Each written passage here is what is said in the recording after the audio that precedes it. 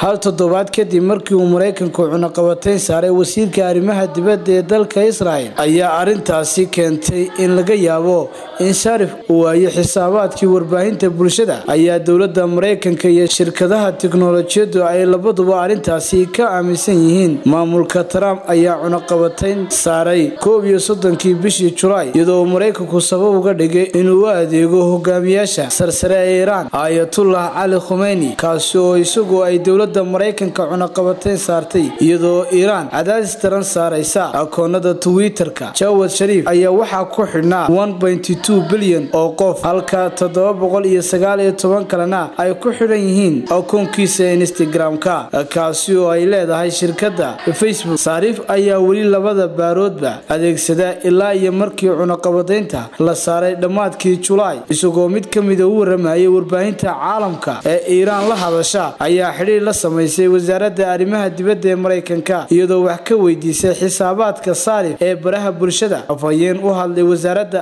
ayaa sheegay inuu twitter-ka iyo instagram-kuba ay yihiin shirkad gaar loo leeyahay. Xamse jaamac xuseen xamse awowo star t v